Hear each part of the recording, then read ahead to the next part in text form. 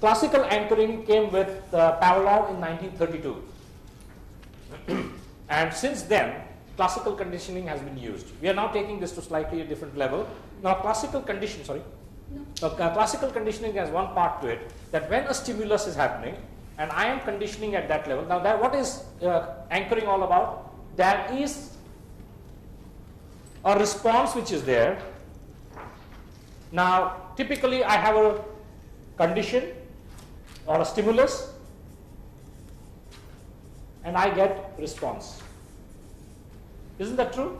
For yes. now, what I want to do is have the stimulus as an anchor that I do. This is my anchor. I want to replace that. Now, one thing to learn is when I'm doing that, say I want confidence. Now, mind you, yesterday I didn't go into all of that because some of you said, I don't, I don't need confidence, I'm a confident person. But as a skill, one thing that most times you will be doing, unless you're a clinical psychologist, is most time is confidence. People are generally confident people, generative change. Mostly they're confident people. But what will happen is they will say, you know, I'm generally confident, but when I have to talk to the CEO of my key account, that's the place I would want higher confidence. Those are the places that you can add value to that person, and when you add value to that person at that level, you take that person to a different performing level. So what you need to do in these cases is, when you talk about say any resource, confidence, happiness or anything, don't take the place where he needs it. Don't, rule number one, that means if he wants confidence in selling, don't take his situation of selling and then anchor him on selling.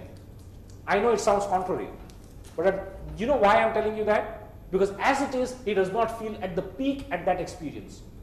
It gets mixed with maybe anxiety or something else. So if you anchor confidence, there is a shadow of anxiety there.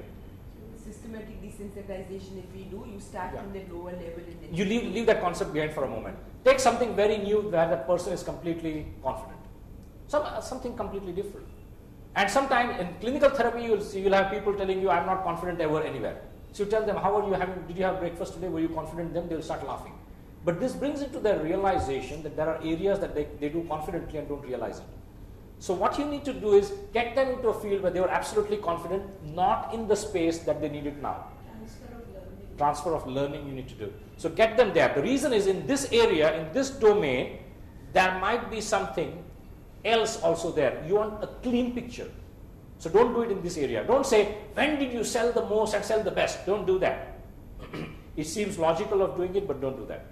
Get something elsewhere that there was complete and clean confidence. So you're now only anchoring clean confidence. Get that confidence completely. You get that in, anchor that in, wire that in, and then I will tell you what to do in this area. you need to do a second part to it. But for anchoring, you take a clean resource, anchor it clean. Making sense? That's rule number one.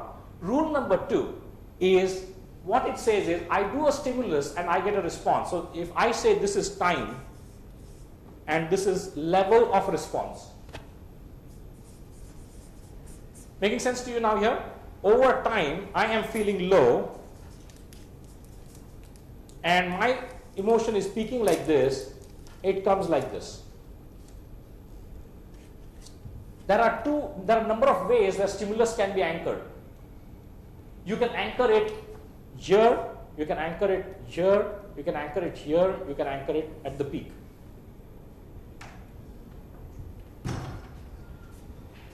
You need to do what is called a forward anchor. This is a classical conditioning name.